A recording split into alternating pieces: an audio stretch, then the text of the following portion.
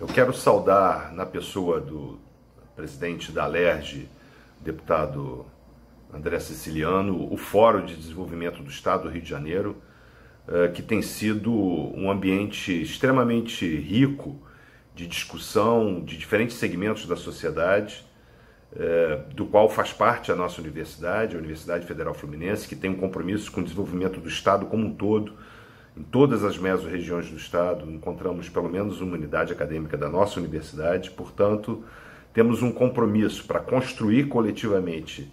um diagnóstico da complexidade do momento que o Estado vive, mas também para construir as soluções para o desenvolvimento econômico e social do Estado do Rio, com a contribuição da nossa universidade, da educação, ciência e tecnologia. Então, na pessoa do deputado André Siciliano, quero cumprimentar todo o fórum eh, e reforçar mais uma vez o compromisso da nossa universidade com o fortalecimento desse ambiente, desse coletivo, na construção de soluções para o povo do estado do Rio de Janeiro.